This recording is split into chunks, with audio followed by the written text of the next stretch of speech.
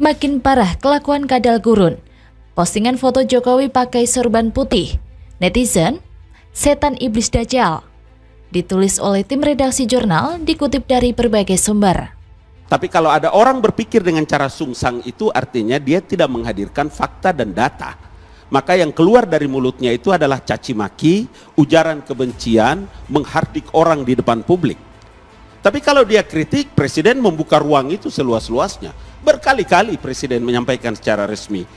Kritik itu adalah e, bagian yang terpenting untuk bisa baik dalam kapasitas beliau sebagai seorang pribadi sebagai presiden maupun kepada pemerintahan untuk melakukan evaluasi. Jadi memang kita sebar-sebarin aja pokoknya yang berita-berita hoak Pak Jokowi PKI, berita hoak Pak Jokowi itu orang Tionghoa, hmm. itu kita sebar-sebarin. Pada saat mau pencoblosan kita bagikan majalah obor, koran-koran obor itu, hmm. nah itu.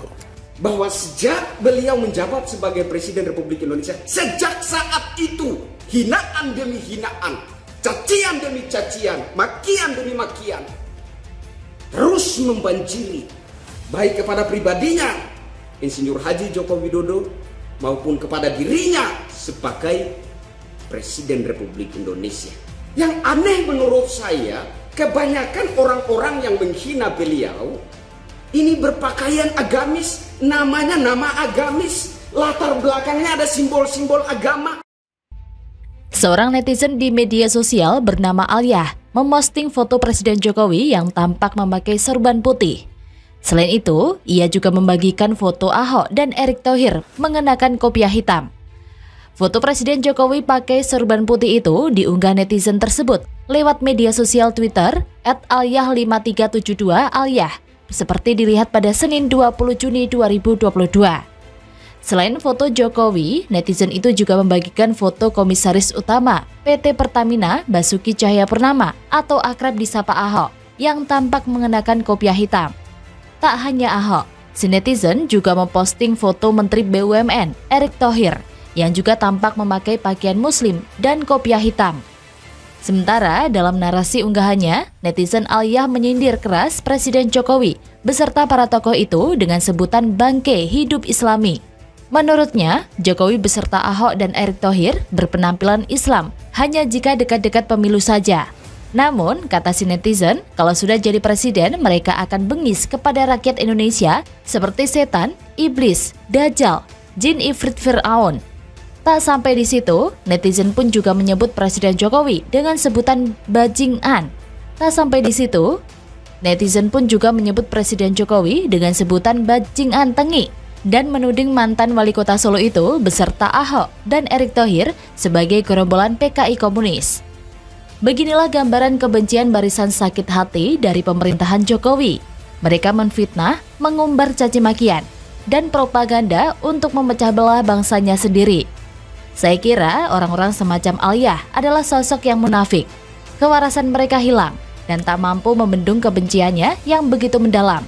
Sampai-sampai tak hentinya memainkan narasi Jokowi adalah antek PKI. Entahlah apa yang telah merasuki mudrun. Bukan barang baru lagi bagi Jokowi dan pemerintah soal isu krusial di atas, antek Cina, anti-Islam, dan kebangkitan PKI. Propaganda pun hembus dilakukan oleh segerombolan orang yang menggiring mindset masyarakat ke arah tiga isu krusial tersebut. Berbagai cara dan modus operandinya pun bermacam-macam, dengan berbagai dalil. Tujuannya cuma satu, menjatuhkan Presiden Jokowi dari tampuk pemerintahan. Gejala atau fenomena ini pernah terkuak sebelumnya, di mana orang yang mengaku dirinya sebagai Lanyala Mataliti yang sebelumnya sempat mengaku ikut menyebarkan isu pertahanan Presiden Joko Widodo sebagai aktivis PKI. Lanyala sendiri telah mengembuskan berbagai isu negatif lainnya tentang Jokowi saat Pilpres 2014 lalu. Ia juga mengaku menjadi salah satu pihak yang ikut menyebarkan obor rakyat media propaganda yang merugikan Jokowi. Ia mengaku gelap mata saat melakukannya. Hingga kini dia menyesal dan bertobat. Tapi ya, kelompok-kelompok tukang nyinyir seperti mereka pun tidak akan ada habisnya walau hari kiamat tiba. Sosok seperti mereka tak kehabisan cara dengan memutar otak, membangkitkan kembali propaganda anti-Islam, antek Cina, dan kebangkitan PKI yang disematkan kepada Jokowi karena tujuan mereka jelas, ingin menggiring dan mencuci otak publik. dengan stigmatisasi atau stempel dosa kepada pemerintahan Jokowi.